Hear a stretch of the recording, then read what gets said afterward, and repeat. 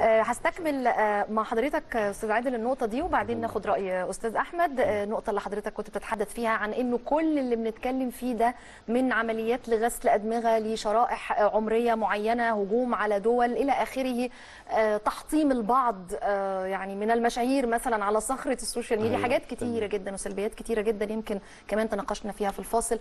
وراها مين؟ يعني آه، حضرتك بدأنا الحديث آه، بأنه آه، يعني ممكن يكون أفراد ممكن يكون مؤسسات. وراها مين يعني؟ أنا بقول لحضرتك هو في, في. عام 2013 ما, ما هو موثق إن كان ال- الجهاز المخابرات الأمريكي كان وراء أكبر عملية تنصت على العالم كله باستخدام كل الأدوات التكنولوجية المتاحة من خلال شركات أمريكية. اللي هي- حياتنا كلها طبعا في شر... يعني مرتبطة بيها.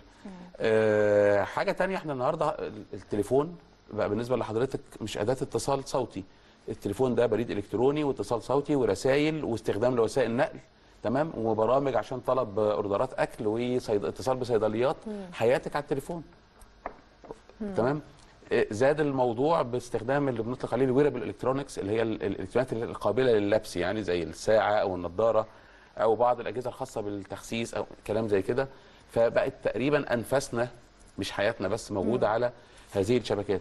لو حضرتك دخلتي عشان تعملي إعلان على أي شبكة تواصل اجتماعي هتلاقي إن انت بتختاري حاجات على شاكله إيه الفئة العمرية المستهدفة؟ إيه الجنس يعني رجال أم نساء؟ أيوة.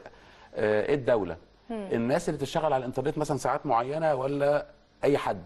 أيوة. أوكي؟ ناس ليهم تخصص معين مثلا اللي عاملين في مجال تكنولوجيا المعلومات ولا اللي عاملين في مجال الصحة والطب.